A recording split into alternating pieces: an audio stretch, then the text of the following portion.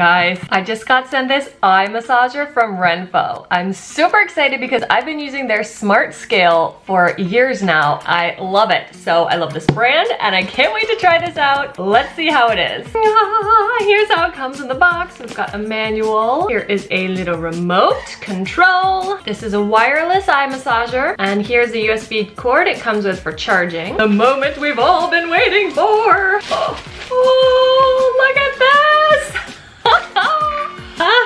I'm. Nighty night. Can't see. Where's my remote? Oh, it's doing the temples.